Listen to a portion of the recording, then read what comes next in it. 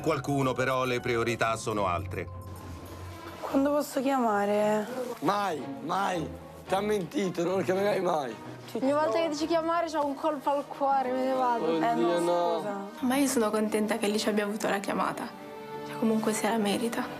Però me la meritavo anch'io. Ma i due minuti incontrano da quando lui risponde o da quando faccio un numero? Finalmente Alice può chiamare il suo fidanzato. Tutti i giorni ci chiedeva, ah, ma le chiamate, fatemi fare una chiamata, non lo sento, non lo sento.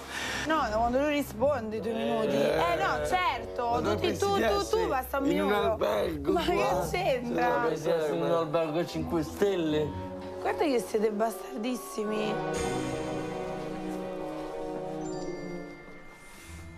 No, Rossi, aveva detto... Vieni. Io? Oddio, oddio. Finalmente è arrivata la chiamata.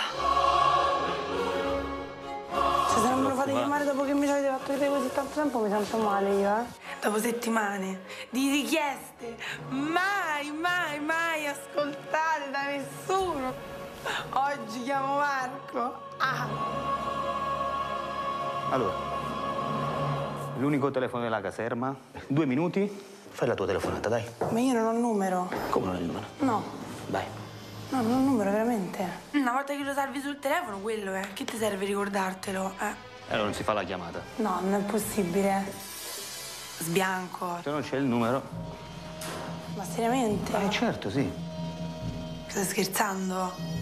Dai. No, vedi, io- Ci io- sei arrivata così vicino, ma non ti ricordi neanche il non mi numero. no, non mi muovo dal letto per i prossimi tre giorni se non me lo fate chiamare. Fai lo sciopero del sonno? Faccio lo sciopero di tutto. E allora vai, sciopero anche della fame, eh? Volevo morire, te lo giuro, volevo morire. Ma dai, ma io tutta la notte che ci penso, ma questa è una cattiveria. Non è una cattiveria. No, no, Non sai il numero di telefono. no, ma non so manco il mio. Dai, forza allora, eh? E la possibilità l'hai avuta, dai. Ma non si può far stare così male una persona, però, non è giusto. Adesso gli spacco l'ufficio. No, per favore. O la chiamata me la fanno fare per forza.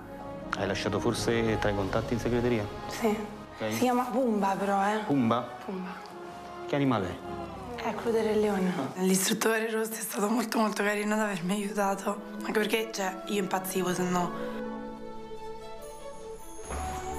Ecco il numero. Non dirlo a nessuno, ti ho fatto questo favore, ok? Due minuti di tempo, fai la tua telefonata.